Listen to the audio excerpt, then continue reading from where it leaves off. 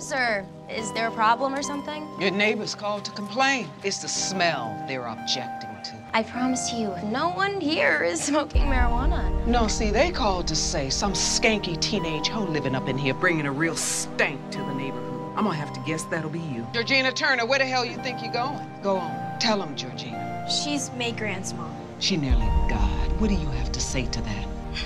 She's a punk ass slut. You're under arrest. You can't do that! I saw what you hid in your bag. Where's my daughter? Where is she? You did this? The hell is the matter with you? I want her released. Was this about revenge? Is that it? Don't you talk about my daughter. You should have come to us if you had concerns. What, like the other parents who complained to you about Satan over there? Yeah, that's right. I talked to him, and I know you did nothing.